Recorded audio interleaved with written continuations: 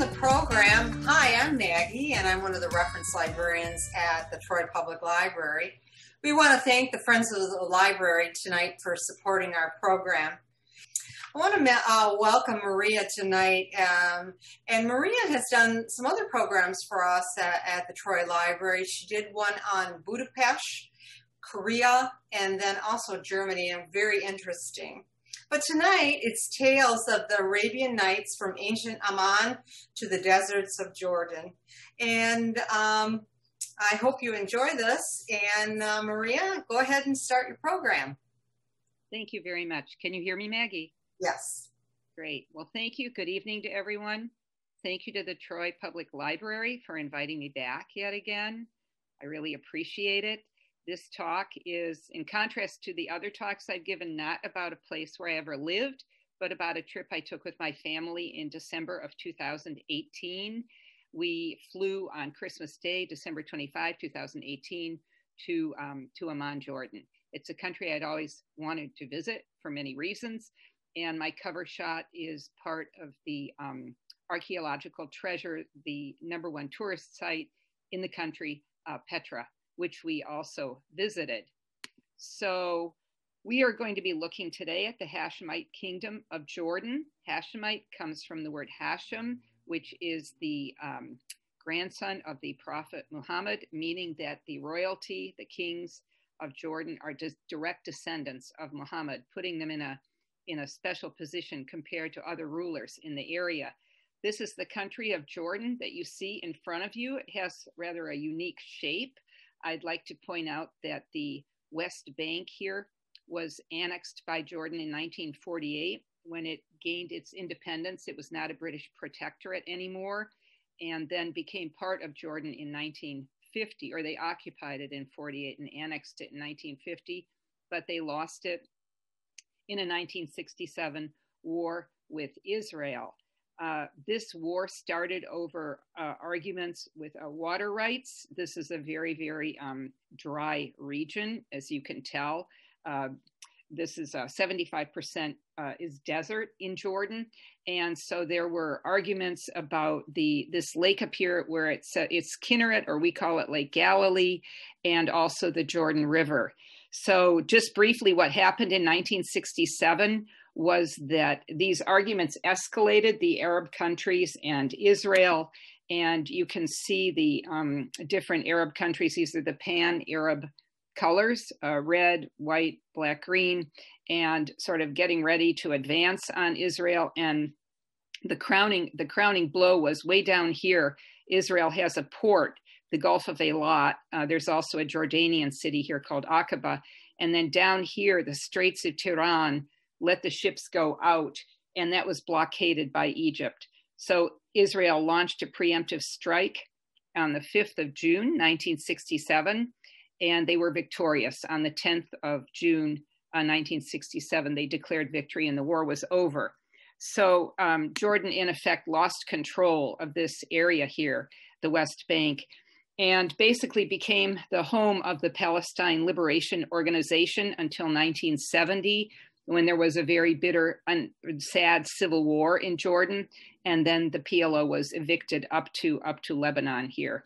So, okay, so what do we know about Jordan? We know it's about the size of Ohio. It's 35,000 square miles. I mentioned that it's 75% desert. It doesn't have any natural oil reserves. It gets its oil from Saudi Arabia. It gets its gas from the Arab gas pipeline coming in uh, from Egypt. And so water is um, obviously that it is energy energy poor. So the biggest uh, the biggest obstacles for Jordan in its economy are scarcity of water, um, also the oil imports, and I don't, it goes without saying regional instability. If you read the papers and you know anything about the Middle East, they have been remarkably able to keep steady, a steady hand and, uh, and uh, um, a stable, a stable government through so many decades of turbulence for different reasons. Jordan, about 14% of its economy is from tourism, so that's a huge, huge amount.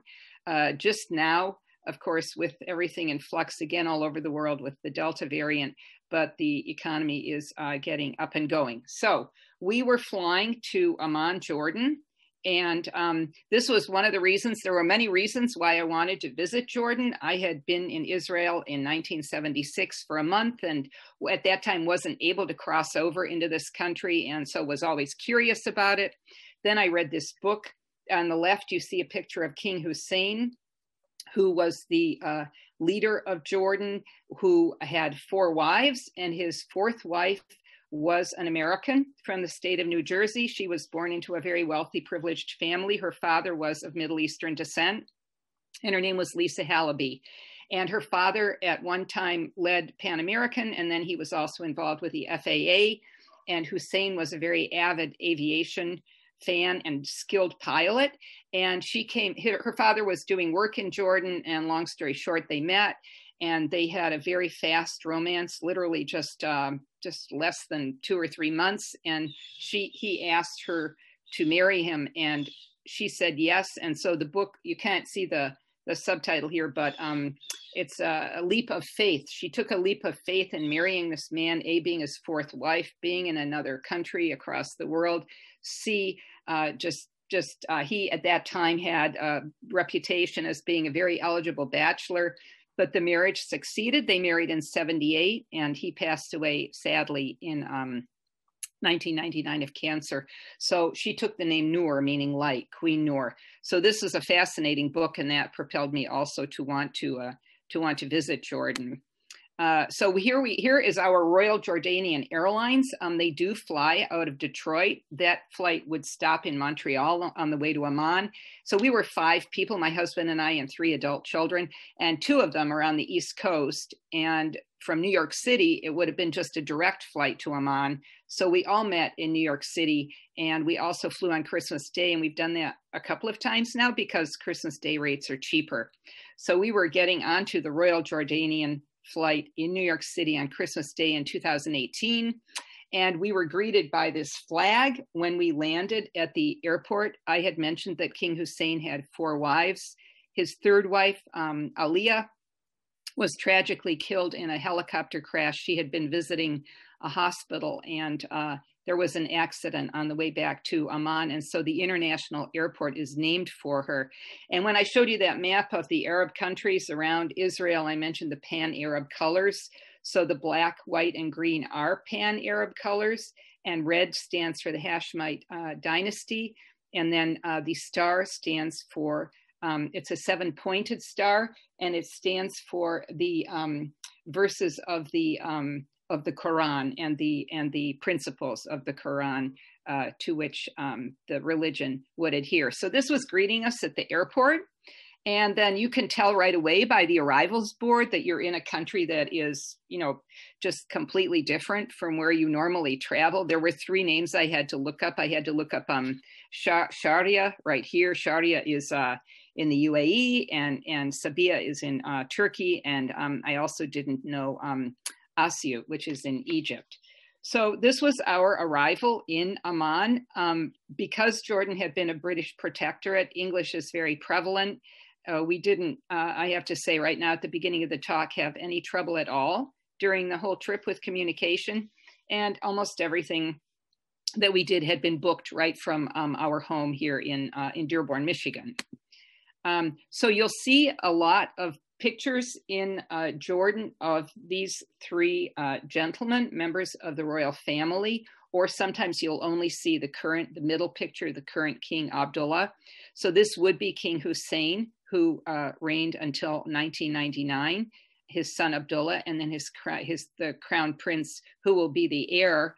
And uh, just we're not going to read through all of this, but very quickly, this is King Hussein. So Jordan is a constitutional monarchy and the king can exercise his power through the government.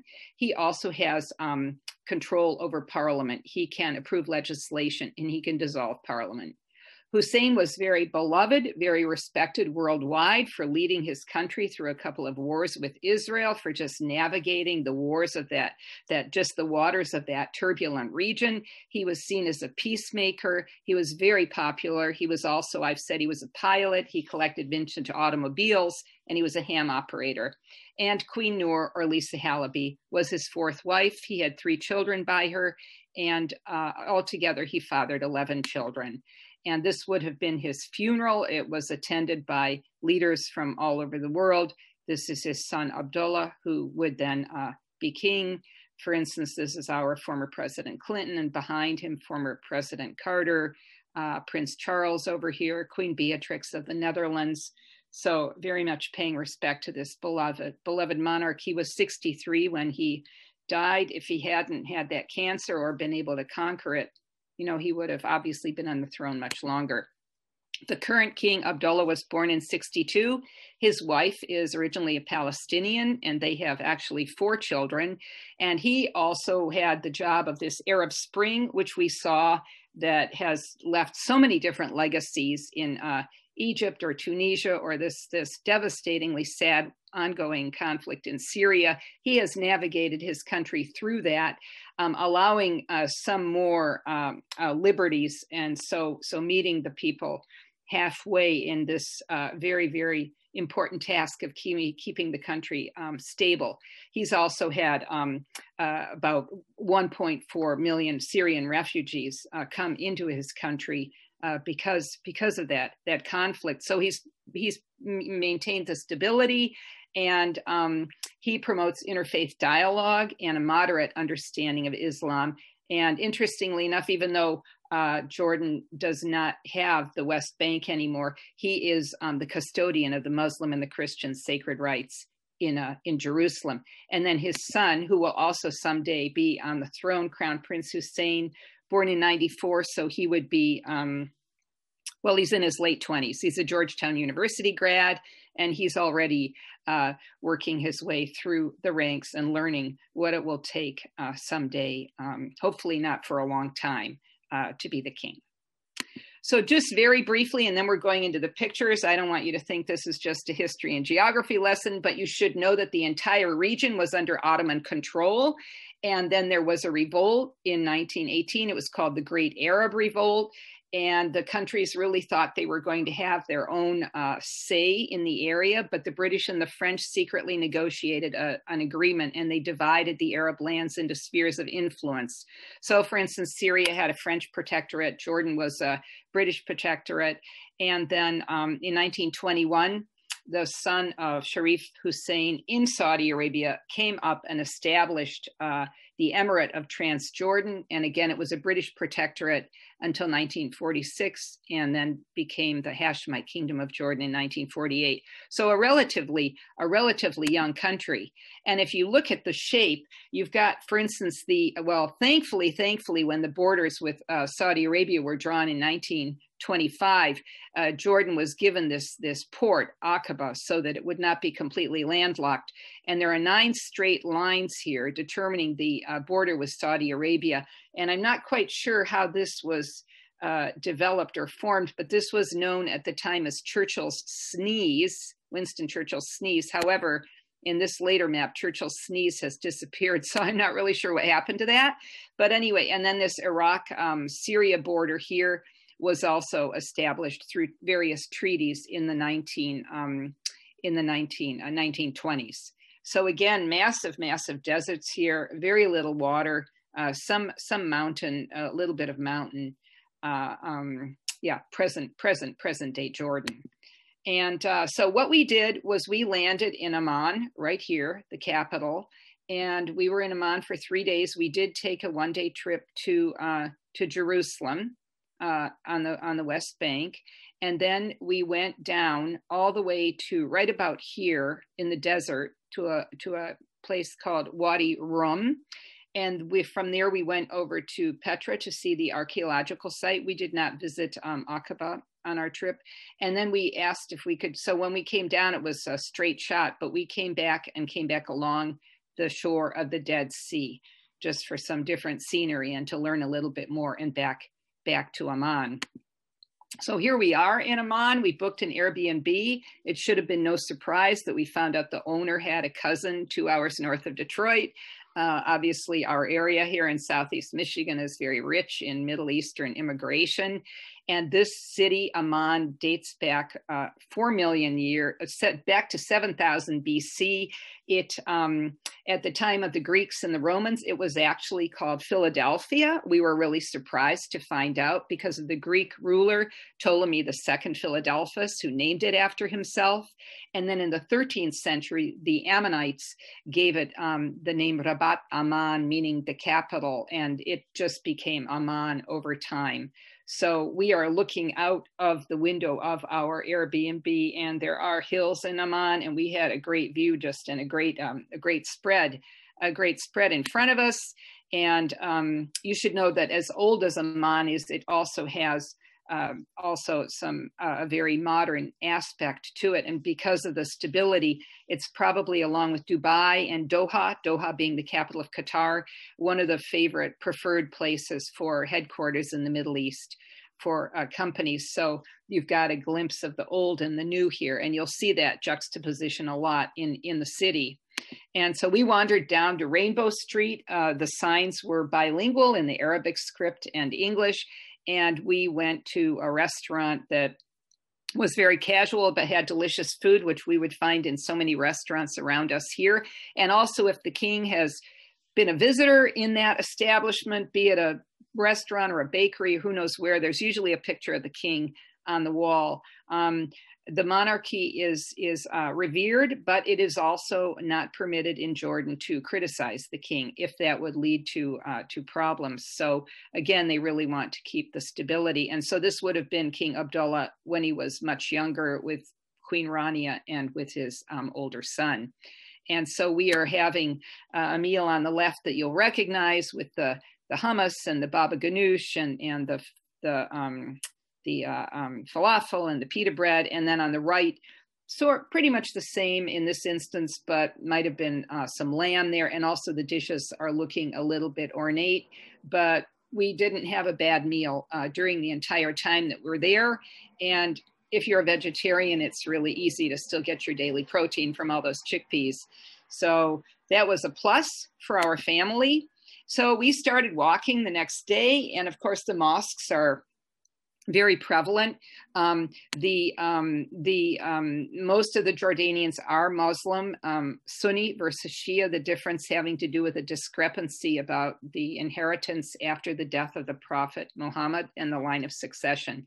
But um, there are some Christians living in Amman or in the Jordan Valley, but the state religion is Islam, and the king must be Muslim. And just um, uh, just sort of FYI, uh, most of the Muslims in the world are uh, are Sunni, and um, uh, in in the majority of the countries. But they do have, for instance, Iraq, Iran, Bahrain, that uh, where the um, where the the Sunnis are uh, the Shiites. The Shiites are the majority. So we're walking down the street and we're taking in the sights. And for instance, we've got one store there that looks like it has some items just about as old as the city. And then there's another store with uh, with some fancy dance garb and and uh, and a pastry shop with those famous uh, famous Middle Eastern sweets or um, a mini market, or here's the bread factory, always fresh. Again, the bilingual making it so easy. So we decided to go see some of the Roman ruins first. And the first one we came to was gated. We couldn't walk into it, but we could read the signs, and it was a um, a Roman public fountain from the second century. And so we could see a little bit of what had been unearthed. And there are always a lot of signs around telling you and informing you. So if you forget your guidebook, you're still you're still actually okay. And we can see that our country has uh, been pumping money, uh, the sign on the right, into the um, some of the archaeological excavation efforts. And then the second one we came to was, well, this is the Hashemite Plaza in the middle, um, named for the dynasty, which was built around 2014. We're going to be going up to this hilltop site called the Citadel, but opposite the hilltop site is a Roman Colosseum. And in so many capitals or large cities around the world now, there you'll see these big letters. And so, you know, you can stand between the letters or you can put your hand around the heart and have your picture taken. And uh, um, so, no, Amman also has that.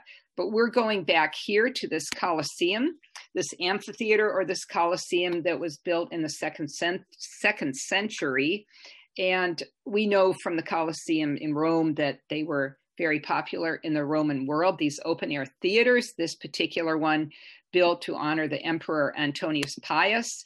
This is a different angle here that you can see. And then this one I didn't take, but this is interesting because you can see well it's got just a great vantage point and it so it was built facing north so the spectators would not be looking into the sun and it's very very steeply raked so that even at the top level you could clearly hear what was being said it's used today for things such as the prize giving when they have the Amman Marathon.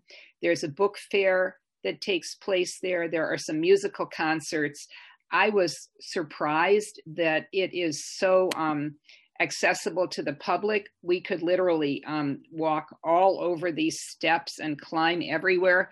I could imagine maybe at some point that might be limited to when it's not being used for you know public events, just because the wear and tear on the stone.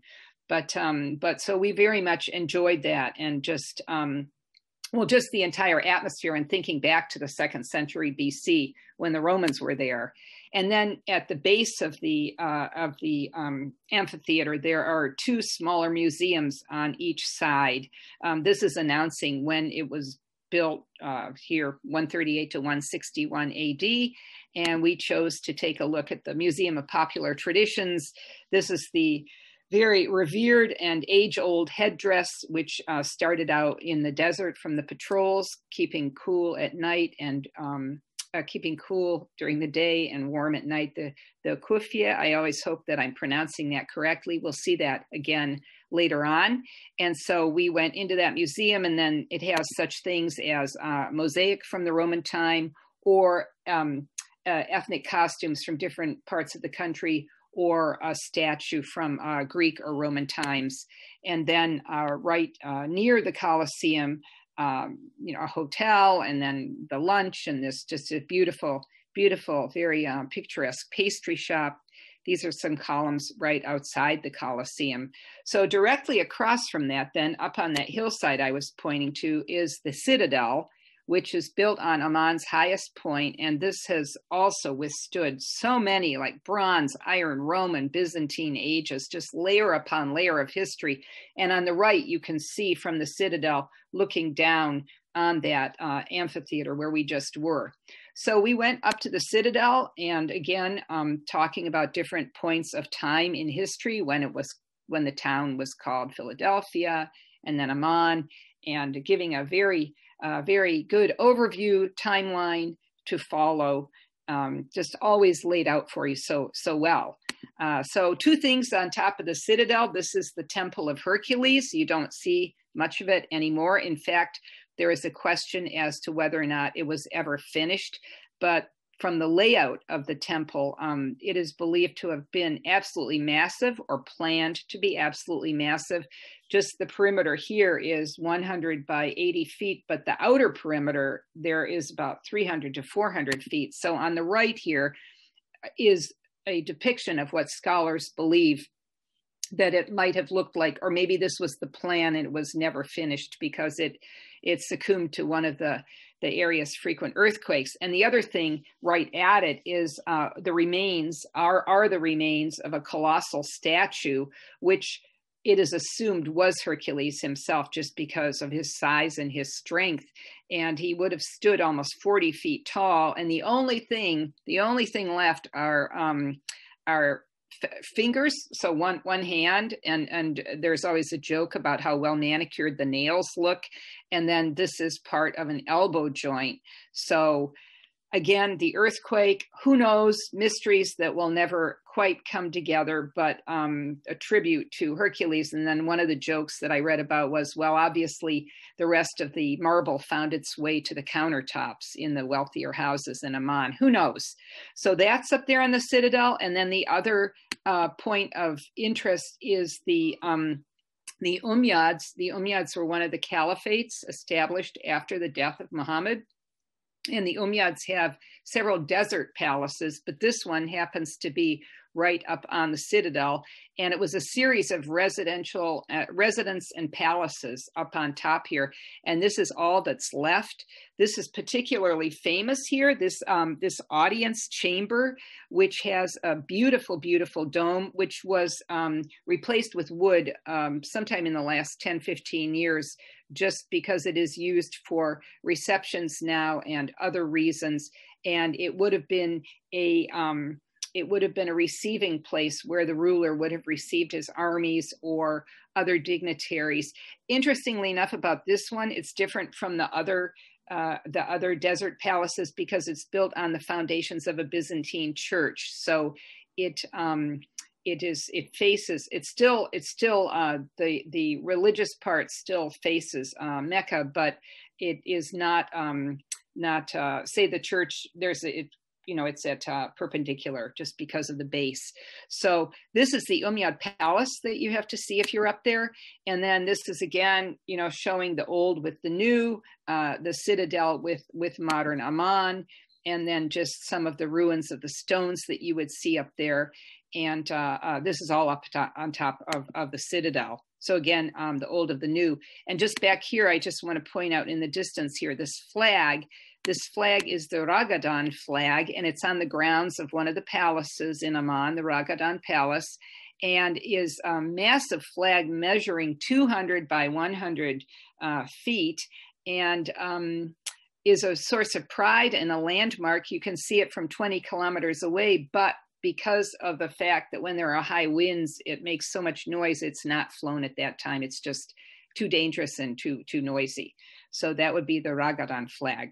So we left those uh, those attractions, and then we went to see the Jordan Museum, which um, is an assembly of the finest of the country's history and cultural heritage. There was also a, a special exhibit at that time about inventions. Um, so much to look in there the the number one attraction I would say in this museum. Oh well, first of all, we'll go back to the kufia again that I had mentioned previously, and um, again, this was introduced as part of the Desert Forces uniform, and so if you even see the king wearing it. Uh, it's not, you know, why is he wearing that? It's always because it's part of the national, sort of a national costume. And the size here, it says the size of the tassels will show off the scarf's value and the owner's status. And this is a picture of King Abdullah wearing that headdress. But the number one attraction would definitely be the Dead Sea Scrolls, which have just always over history um, been a source of fascination and which were first found in 1974 in a cave in Qumran here, supposedly, as the story goes, by a shepherd looking for a lost sheep. And these scrolls detail life in the first and second century. Part of them ha- are um, biblical texts, and part of them about are about secular life. And they are written on papyrus or on animal skin, and there's quite a collection of them. And this uh, particular museum has um, has a good share of the Dead Sea Scrolls, but there's one called the Copper Scroll that is not like the others which is just as I just said, written on copper. And it lists 64 places where supposedly buried treasure is located. And it's been the impetus for treasure hunts all throughout history. But there's supposed to be 4,600 pieces of precious metal listed on this scroll, making the haul over 1 billion. But um, I have to read um, the the clues are very um, very obscure, so you don't really know where to start. So, for instance, in the salt pit that is under the steps, forty one talents of silver, or in the cave of the old washer's chamber on the third terrace, sixty five ingots of gold but there's never a starting point given, so it's really hard to uh, imagine how you're really ever going to find this treasure, but always a source of fascination. And still in the news in 2017, um, the BBC reported a team of Israeli archaeologists who, in a cave, found um, what evidenced uh, not scrolls anymore, which were probably taken out long before then, but jars and wrappings for the scrolls. And uh, so that, of course, is studied very intensely. And then this is really interesting. Just this year, I found an article in Harper's Magazine about the uh, Green family, which owns a series of Hobby Lobby stores, and they purchased what they thought were Dead Sea Scrolls, and they had opened a museum of the Bible in Washington D.C. I think in 2017. So they had these scrolls on display. But then, upon closer examination, there was a lot of skepticism. the The content, also the way when they when they brought in an art forgery company, the way that the the writing was and it, and anyway long story short they're not authentic dead sea scrolls so someone went to a great deal of trouble to uh, forge these and to make a lot of money from it not sure if they ever really got to the bottom of that so just a fascinating topic because there's a lot of mystery around it but jordan is very proud of what is in in the museum and then we went to see this automobile museum. Um, I was really the one who wanted to go. And so we were one hour in dense uh, traffic jam. Traffic. We were uh, we were six people, including the taxi driver, in a taxi made for five. So one person had to be across the laps of the other. And they said, "Oh, do you really think this is going to be worth it?" And and uh, we got there and it was dark and we thought it was closed, but it wasn't. We were in luck, and this was just absolutely fascinating because this goes back to 1916 to the to the to the cars that the royalty um, uh, well collected and king hussein was also an avid collector and so just gorgeous specimens and here you have for instance this car um, in front of uh, the treasury at petra which we'll be talking about. This would indicate that it is the you know a member of the royal family uh, in this car and uh, then for instance this one i think he has the union jack on it so maybe when uh, queen elizabeth and prince philip came to visit that car would have been used to drive them around so just absolutely absolutely gorgeous and and then this was also there the king also loved motorcycles so here he is with queen noor out in the the desert, which you'll see in a little bit. And it says Royal Trailblazer, uh, Jordan Hussein opens his spectacular kingdom. So they had this cover of the Condé Nast Traveler on display. So on the very far right, the movie The Martian with Matt Damon was filmed in Wadi Rum in the desert. And at the end of the uh, filming, the crew gifted the the the rover to the country of Jordan just because they had shown such hospitality during the filming. So that's on display outside the museum. And then, last of all, uh, this is a 1947 uh, Dove de Havilland. It's a very special plane because so the first ruler of when Transjordan was established in the 20s was uh, actually the uncle of King Hussein. Um, sadly enough, uh, or it was his grandfather. It was his grandfather because his father was deemed uh, unfit mentally uh, to rule. It was um, a very sad uh, diagnosis. So Hussein, the grandson of the ruler on the throne, was flying with his grandfather to Jerusalem for Friday prayers at a mosque, and the grandfather was assassinated. So he became king at a very young age, and but the, the pilot of this plane had to fly this grief stricken young prince back to Amman, and the pilot was a man named Jack Dalgleish. He was a Scotsman.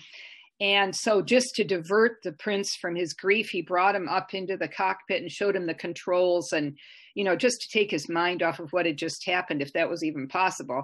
And uh, so, uh, Jack Dalgleish became a, a lifelong friend, and uh, and King Hussein became a, an um, avid um, uh, pilot, a very skilled pilot. There's one story about when he and Mr. Dalgleish were in uh, in another plane, and they had the royal emblem emblazed on the tail, and two uh, MiG jets were following them and demanded that they land. And uh, they they said no, they refused to land, and so uh, Hussein turned the controls over to Dalgleish, who was very skilled, and he got them across the Jordanian border and landed safely in the desert. And so Hussein escaped yet another. There were a lot of assassination attempts during the course of his lifetime. So anyway, this was always his favorite plane, and so this is also on display outside the outside the museum.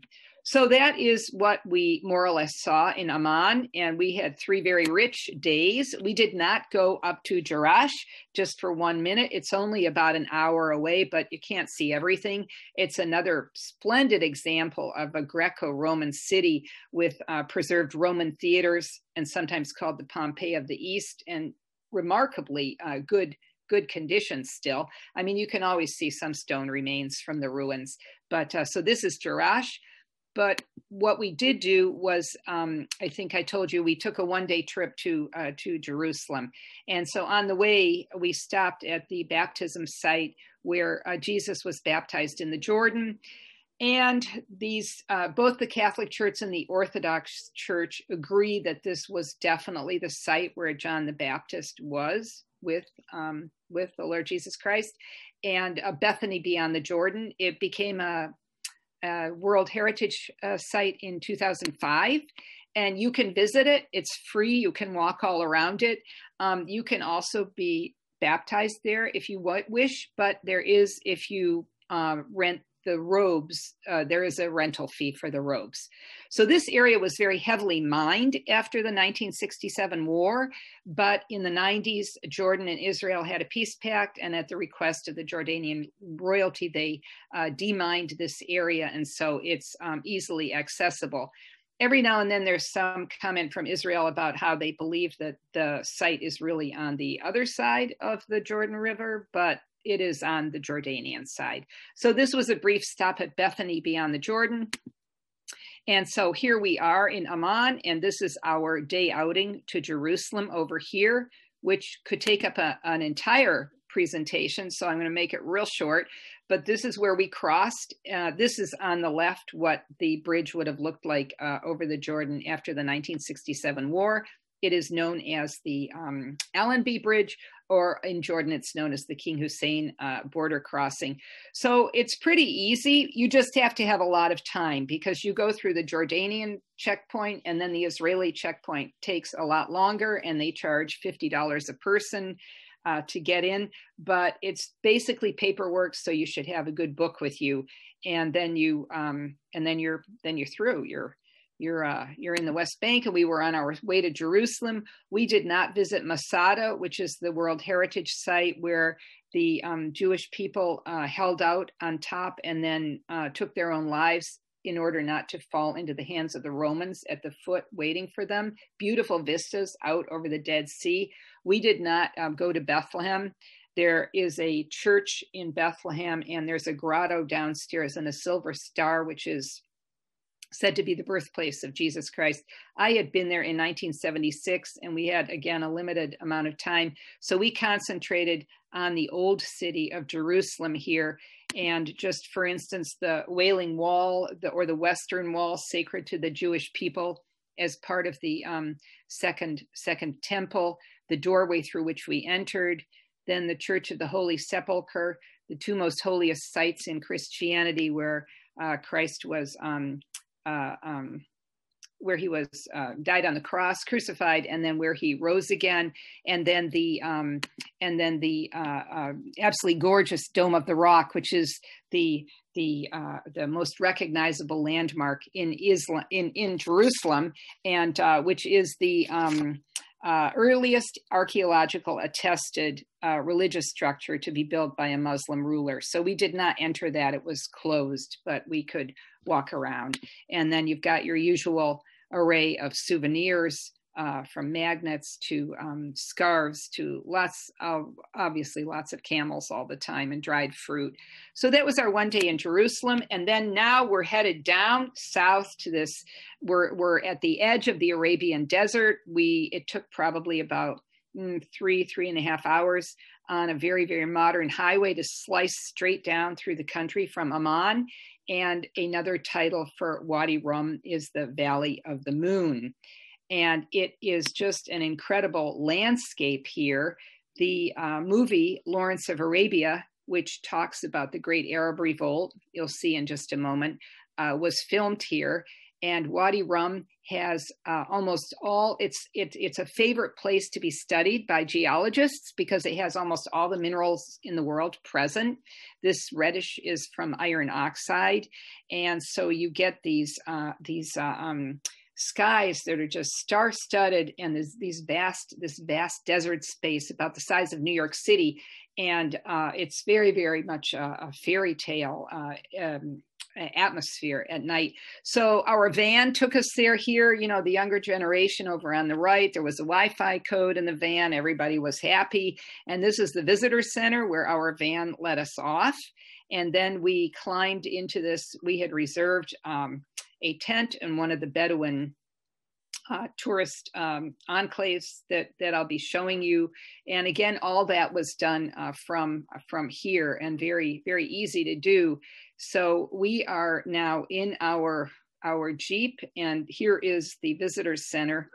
And we're leaving. We're leaving the visitors center now. We're uh, forging on into the desert and we're just have this this uh, stunning these these massive rocks around us and uh, making tracks with the jeep and then this is the movie Lawrence of Arabia, where um, T.E. Lawrence, who uh, was British, who knew a lot about the ways of the Arab tribes, was sent down there to uh, to link up with them and to overcome the Ottoman Turks, which it was successful. The Ottoman Turks were no longer rulers after that, but they also went down to Aqaba and retook a fortress. So this was filmed with uh, Omar Sharif and um, Peter O'Toole and uh, Omar Sharif, Peter O'Toole, and I'm missing one more famous actor. But anyway, you can just imagine this Hollywood crew there in 1962 filming this blockbuster with this gorgeous scenery all around. And uh, this is sort of a. Uh, I didn't take this picture, but again, these this is what you see, and this is uh, um, this is very striking. So here is our camp. Everybody, uh, every you know if this you get one of these little huts here and it is a goat hair hut is a it is a bedouin hut the desert doesn't really have any any uh, structures any buildings i mean they have the visitors center or you'll see some bedouin tents but or maybe a building for the desert patrol but not really any any other infrastructure and the bedouins being the traditional desert dwellers although many many of them have moved to the city now and uh, it's a little bit different but traditionally in history they would be there for pe- perhaps pilgrims crossing through the desert, um, showing them where the water wells were, things like that. Uh, that's all changed a bit, but they do uh, provide a great deal of hospitality in these tents. And then there's always somebody with a camel waiting to earn, you know, a couple of pennies by having a picture taken. So we each had one of these tents. And then this would have been the uh, sort of like in a youth hostel when you get together for meals, uh, breakfast and dinner were buffets that were here.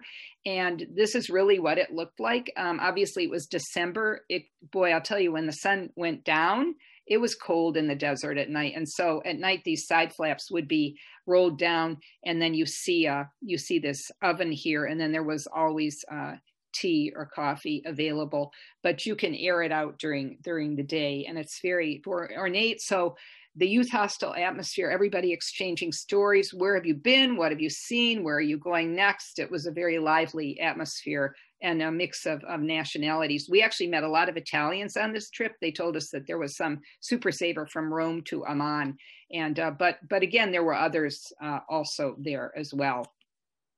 These are our hosts cooking uh, dinner. They called it a Bedouin microwave. They would put this this structure down into the ground. It would be chicken, potatoes, and carrots, but the buffet would have all also all the things that you saw that I showed you back in Amman with the traditional Middle Eastern specialties.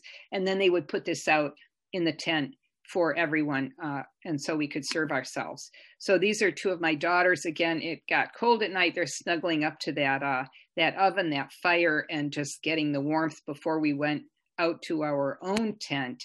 And um, so here is our tent. So everybody would take their shoes off because you don't want sand all over the inside. And it was literally just, in our case, five beds. So there's actually a person in this bed. So these beds had very, very heavy blankets piled on them. And then there's another person back here. And then there are three more beds. So that was it. There's not room for any other furniture. And you're just all in there. Um, the blankets were really, really warm, but it was cold. And um, this was our bath facility for everybody, men and women together.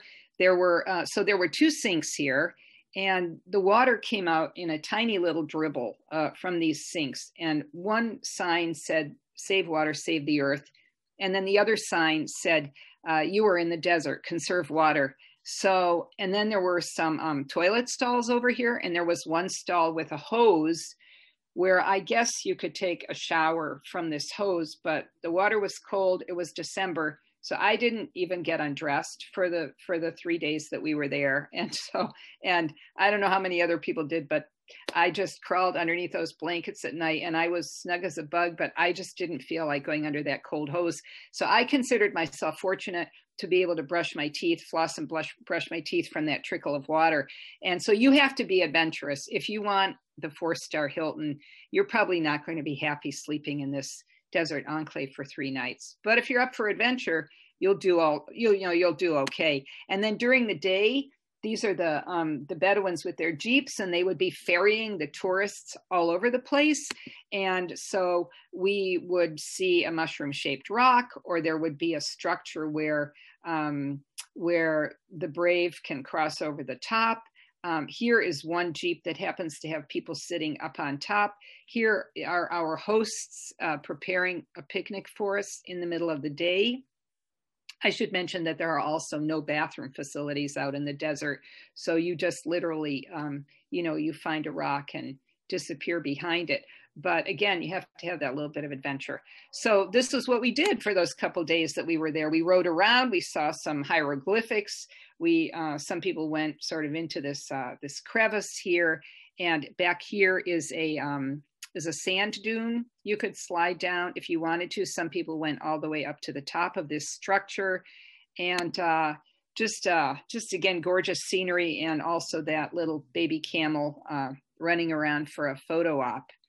So this is Wadi Rum. We spent three nights there, and here we are. We're all um, Wadi Rummed out, but we had uh, just this gorgeous, gorgeous desert panorama around us for three days, and we're uh, this is the Jeep bringing us back to the visitor center. And this is a tribute to Matt Damon uh, making the movie The Martian with that, uh, with that setting in 2016. So after Wadi Rum, we were driving. The landscape is predictably very arid. Uh, Smithsonian Magazine says cracked and sandy, seared and unpromising. And we're heading for Petra now, which uh, was one of my original reasons for wanting to go to Jordan. And um, the nearest town to Petra, actually, if you walk from Wadi Musa to Petra, it's literally 15 or 20 minutes, depending on where your hotel is. So this is the nearest town to the site. And we arrived at our hotel here, which was very modern and nobody's mind was on Petra. I can tell you right now, when we got there, what do you think we were thinking about? We were thinking about a hot shower. So that was the number one priority at this hotel. And everybody had a hot shower. There was plenty of hot water to go around. And then there was that fabulous buffet. So we happened to be there on New Year's Eve. New Year's Eve is not not celebrated in the country of Jordan. I have Lebanese friends who say that they do celebrate it in Lebanon, but it is not in Jordan. So we found an Irish pub over here on the right, and there's it says Petra beer. Um, which was full of foreigners having a good time from all over the world. And then the next day was New Year's Day, but no, no, no, you don't want to think that people are going to sleep in late because if you only have maybe one day for Petra, you want to get there early. So Petra also has these letters in this heart that you can stand and pose with and take a picture. And welcome to Petra. And here everybody is heading towards the, the entrance of this very very famous site. Um, so Petra became about because of the Nabateans. And this is moving forward in time to when they had already been conquered by the Roman Empire, but basically they were skilled they were they were desert nomads and they became skilled traders and their their kingdom. And I just took this picture of the Roman Empire because it's always fascinating to marvel over and over again how large the Roman Empire was. But uh, and they named uh, um, Petra Arabia Petraea. But so Petra would have been right here, so it would have had the whole uh, Sinai Peninsula there, and would have extended up and. Um, uh, and Nabatea, actually, where the Nabateans were, and Petra was their was their capital city, and so this is a great map because here is Petra. Here was their capital, and they traded with the Far East, with China, with India, up and through the Mediterranean, Greece, Italy, Egypt, and they became very, very wealthy. They were very skilled in harvesting rainwater, which was crucial for survival, also for agriculture, and also for stone carving which you'll see examples of and you saw at the very beginning at the opening slide but how they really amassed their their wealth was in the trading of incense. So the incense was coming up in the form of frankincense and myrrh from down here present day yemen. And um, after the Minaean kingdom collapsed in about the second century BC, uh, the, the Nabateans took over and they became the middlemen for the trade and incense was very important because with the rise of the um, the Greeks, the Romans, and the Egyptians, this was a very very valuable commodity. They used it for embalming. They burned it. They used it at funerals. It was very expensive because of the route that it had to travel to get to them and they were wealthy these civilizations and they were they were willing to pay so the Nabateans would have uh, stops set up and would um, have payment at these stops from, you know, like a tax that you had to pay when you were passing. And they grew rich. They grew rich off of the incense. And this um, is sort of a romantic depiction. These cam- these massive camel trains moving from the southern part of Arabia uh, up, uh, you know, up to Amman would take about not Amman, but where Petra was the headquarters would take about 11 weeks to get there and always you know the the length traveled it always depends upon where water was in the desert and so it must have just been fascinating to watch these beasts um, the left is an authentic picture from that time the right I just took from a modern tourist magazine, but you get the picture, right, of, of the camels moving through. So the Nabateans did pretty well for themselves. And Petra, what we're going to see now, was their capital city. And on any given day, you would have had 20 to 30,000 people passing through this city, traders or travelers. So here we are back at the entry gate here, and we are going to walk through this road to a very narrow uh, gorge and then see some sights along here. And if you're very adventurous and have a lot of energy in one day, you can go all the way up here to see the picture you saw at the beginning of my show. So we're coming in at the entry and you are, um, you can walk and most, of, most people walk. You could also pay to ride on a horse. You could pay to ride in uh, one of these little uh, carts. Um, you could pay for a short way uh, uh to be on a burro or a donkey or um, you could uh, sit on a camel. I don't think the camels take you for a long time, but it's a very picturesque and very popular photo motif. And so we are approaching what is known as the Siq, which is a very narrow gorge and which was a fault that happened throughout history. Again, the signs are, are bilingual, so they're easy to follow. And the Siq has stones that, depending on the time of day and the depending on how the sun is shining artistically, we'll say it's like a palette and a mixture of pinks and golds and browns and and uh, um, again just how you're standing. This would have been um, a baetyl, so maybe a religious offering there coming through. And what you can also see are um, here you can see because the Nabateans had harvested that rainwater, so they have these troughs running along there. So the Siq is very, very narrow. Look at this in some in some places, but it always these little carts can always fit through.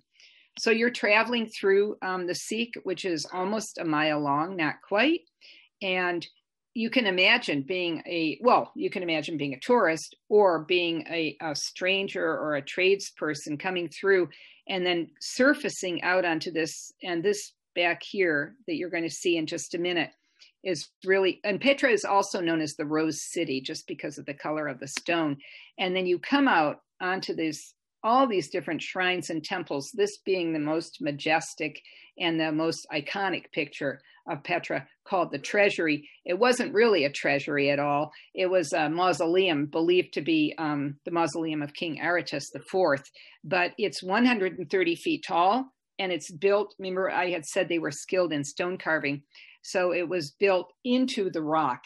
which probably accounts for why it still survived uh, over the centuries um, and survived earthquakes, which around 400 AD would um, lead to the total downfall of Petra after the Romans and the, the Byzantines had taken it over. So this is the treasury. It's absolutely stunning when you're standing in front of it. Um, the it's decorated with symbols for the for the afterlife. And uh, for instance, you have Castor and Pollux right here, the two um, the two gods who um, heavily twins who spent part of their time on Olympus and part in the underworld. And here they're guiding the uh, the souls of the heroes to the Elysian field. You have Isis up here, who's the goddess of love and immortality. You have um, a frieze at the top here. You have winged eagles carrying souls away. So there are some bullet holes up here because the myth of it having been a treasury was perpetrated through ages and maybe people thought that they could find something but um, you don't go in it's roped off. Um, obviously archaeologists go in and there are three big rooms inside which were probably funerary chambers but there's enough going on outside. And i was reading where now during this year where tourism couldn't happen because of covid there was some um, out here where normally the tourist masses are there was a lot of uh, um, further excavation, further digging, a lot of high tech uh, surveying in- instruments also uh, mapping Petra. And uh, so there's a lot going on. Um, this is one scene as we stood there looking um, at this gorgeous uh, monument. And then there would be a souvenir shop, and there would be your um, your bilingual sign, and um, so, literally, well, you have a lot to see, but you could stand there for hours just watching. People watching is always so fascinating anywhere in the world. So, this is the treasury. And we weren't on the two nights that we were in Petra, um, um, New Year's Eve and New Year's Day, they didn't do this, but there is an extra that you can uh, um, attend called Petra by Night. This is in front of the treasury where they have luminaries and they have music. So, we didn't see that, but we heard about that. Uh, also, um, I mentioned uh, Lawrence of Arabia and I mentioned The Martian. Well, so in um, about 1987 88, uh, Queen Noor and King Hussein were in uh, London and they were, um, uh, this movie was being filmed. They met Steven Spielberg and Harrison Ford, and Queen Noor had the idea of inviting them to come to Jordan to maybe film part of the part of the movie you know, obviously uh, for for cultural uh, goodwill between countries, also good for the economy of Jordan. So, in the last scene of this um, Indiana Jones and the Last Crusader, they burst out of the Siq and into the treasury to go find the Holy Grail. So, very appropriate. They're bursting into the treasury. So, this was filmed there in 19, 1989. Um, so this is a David Roberts was a British artist who traveled there and painted many beautiful watercolor painting. He's got just a lovely postcard here showing the treasury. And this is our son. You can, I didn't choose to do this, but you can climb, I don't know how many steps up and get this photo op on a carpet with Petra down there behind you. That was a little too high for, for Maria. Um, so I, I chose not to, but he and um, one of our daughters went up there. So we have this picture of him sitting up there. And it's a it's a great shot if if you if you want to climb that high. So aside from the the Petra, there are stone carvings all over the city of Petra, and you're literally at liberty to wander anywhere. Which makes me wonder again if at some point in time some of them. I mean, I said you couldn't go inside the treasury, but some of these might be roped off in the future just because of the wear and tear on the stone. Um, for instance, in here, there were uh, benches which it is assumed uh, people would recline at to have a meal, sort of like in the Roman way after, after a funeral. These are um, funerary monuments. There were um, tombs found in them. And so it's one after another, um, just for the eye to feast upon and to imagine and and to read about as you move through here. There's also an amphitheater, uh, 4,000 spectators, and uh, um, again, just like uh, in uh, in um, although the one in Amman was built during Roman times, this was built uh, prior to that. But the stones uh, carved the seating for the for the spectators. This is a structure called Qasr al Bint, the palace of the pharaoh's daughter, from a legend that the the supposedly the pharaoh's daughter had two suitors. And the the the the pharaoh said whoever can uh, find a source of water first will win my daughter. What's interesting about this is that it didn't succumb. It's freestanding obviously and it didn't succumb to any earthquakes but it is thought that perhaps the square shape of the building reduced the torsion uh, and the waves during the quake and also it has some elements of um, of string built inside the construction there. So this is uh, another you you do. I don't think you go inside that. I think we saw it from outside, but um, uh, goats. Also, also there had been um, Bedouins living in the caves in Petra, but when it became a World Heritage Site, they had to be evicted. So that was a point of um, that was a sad um, debate in Jordan, but they couldn't they couldn't be there after it was named a UNESCO Heritage Site. Um, this is the Great Temple, which was actually excavated by Brown University, a team starting, I think, in 1993. So this could have been a religious or an administrative building, and again, um, just a just a massive, massive uh, uh, area, and um, the largest freestanding, or what was a freestanding building in Petra. And also with two massive water cisterns, you have to be able to conserve the water. That was the key to survival but just a just a huge area there and this is it's not a really good picture but you can see they had the cisterns and they kept the cisterns underground because that would not make the water evaporate so quickly and they had actually um, they had quite a rich variety of agriculture just because they did master this uh, this um, this technique of harvesting the water from a nearby spring and using it to their advantage. So this great temple was uh, way up high above the street and towered over everything else. And uh, there are some souvenir sellers there. There's some cute little dolls being sold there, or some um, uh, pieces of probably hand woven uh, cloth at the Great Temple. And then this would have been built by the Romans. This was a colonnaded street. This did succumb to um, earthquake and petra really started to even it even thrived after the romans took it over but then uh, i think around 400 uh, AD, there were uh, just massive earthquakes, and also there were different trade routes that been established. A lot was being done by sea, and it just um, it was an empire, and it just just died out slowly but surely. But this this uh, street was probably in Roman good Roman fashion, used for ceremonies or for commerce. Possibly there might have been stores in between these columns at one time. So we've seen a lot already. We saw the treasury, we saw the um, the um, the Great Temple, we saw Qasr al Bint, and then again off to the side, so many other smaller uh, um, cliffs with carvings into the cliff that you can look at. So if you've got the energy, you can climb, and this is sort of zigzag here. There are 800 steps leading up to what is called the monastery. And don't forget, you're about three miles away, and you have to, um, you are probably going to exit back through the visitor center. So you got to conserve your energy. And so this is the monastery. This is another example of that stone carving. Oh, and by the way, I should say, if you remember the treasury, and it had gods and it had a sort of um, Greek Roman motif. It's believed that possibly stone carvers were brought from Alexandria in Egypt to work on that. And so that had a little bit of a Western look to it, whereas this is very, very plain.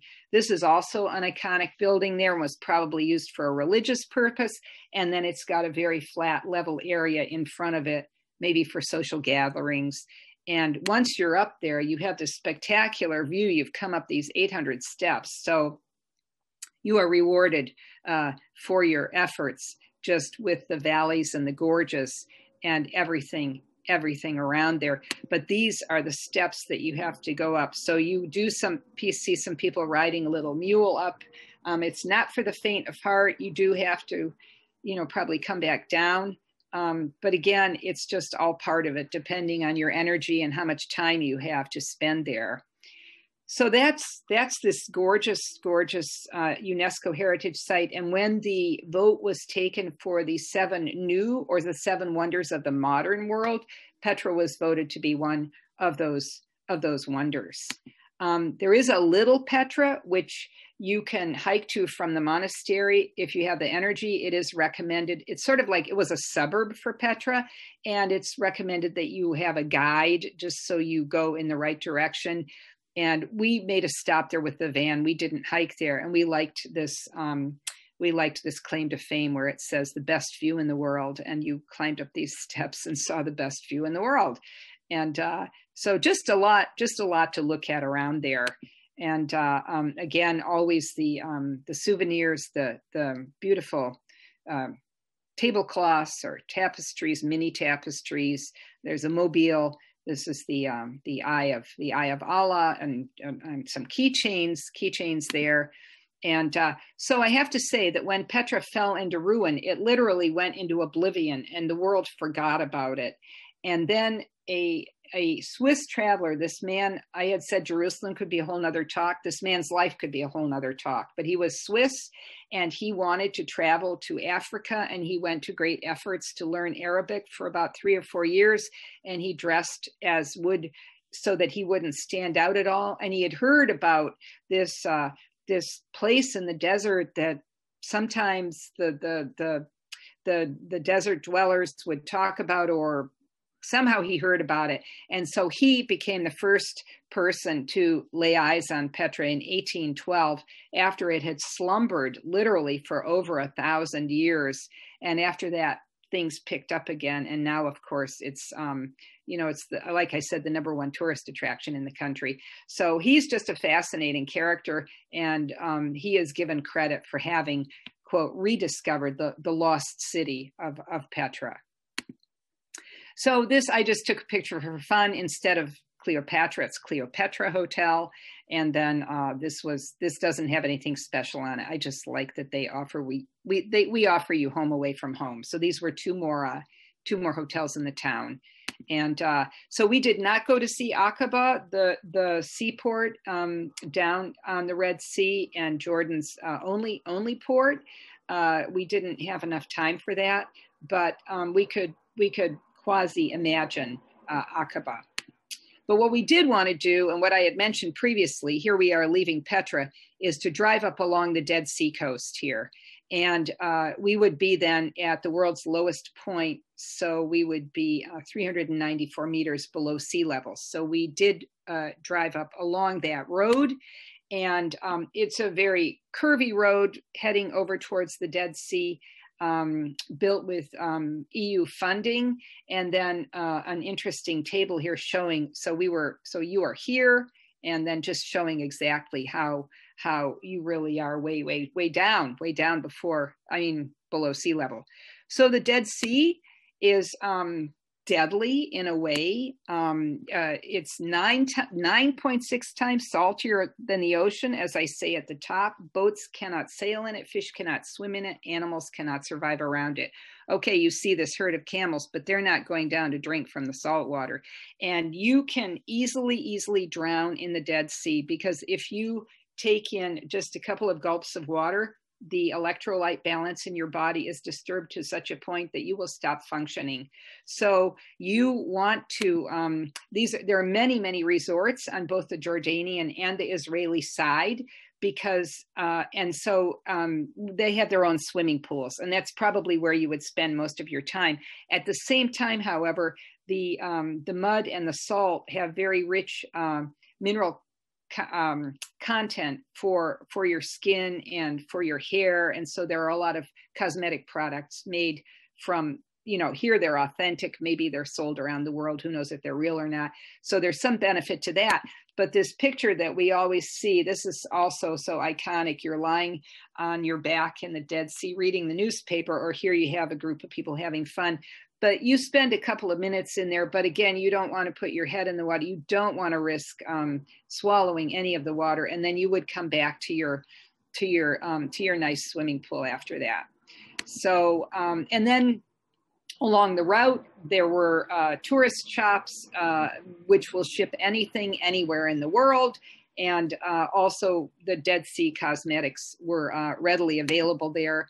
So we took an Arabic translation book with us, which we didn't need because, again, English was ubiquitous. And we also had our little first aid kit that we always take, and we didn't need any of that either. So it's nice to have it and not have to use it, but it's also very nice to have it, especially in a country where you're not exactly sure whether you could find something quickly. And once more back at Queen Alia Airport, um, just a beautiful display of sweets. You could take one home as a souvenir if you wish from the Zalatimo brothers.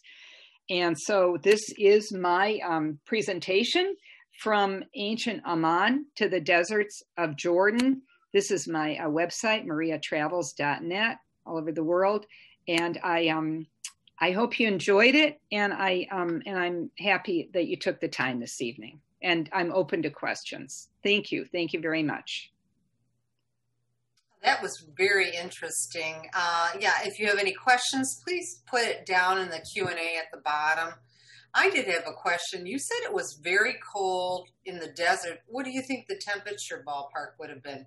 Well, I'm thinking it was about um, about 45. That doesn't seem very cold, but it wasn't below freezing, but maybe 40, 45. It's just uh, once the sun goes behind the the um, the uh, you know, and you're you're not in you're not in the sun anymore. It it did it did get cold. So 40ish, right around there. Well, and and what would the temperature be during the day then?